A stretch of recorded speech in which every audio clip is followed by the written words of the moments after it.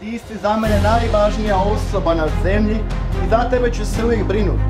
Malinci na venčanju te riječi zapečačuju ugovor i čineći tako dolazi na vidjelo veća stvarnost. Osjeća se kako je Bog u svemu na dijelu.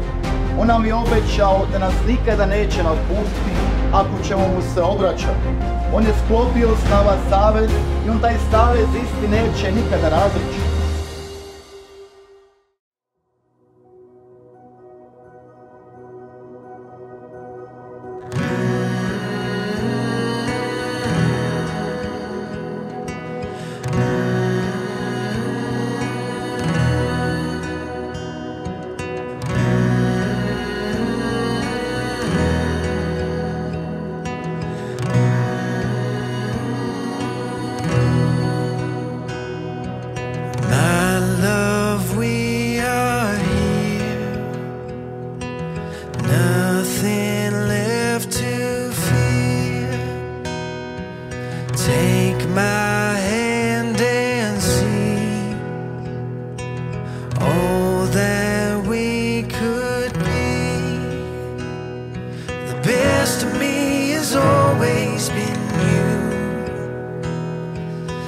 Just wanna hear you say the words I do.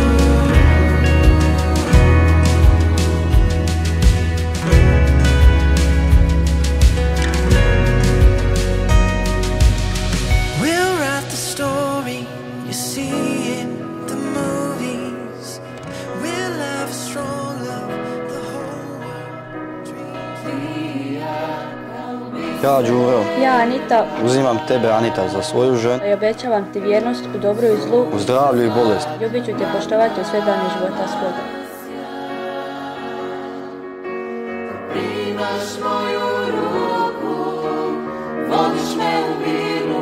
Anita, primi ovaj prsten ljubavi vjernosti. u ime Oca i Sina i Duha Svetoga. Tvojim stopama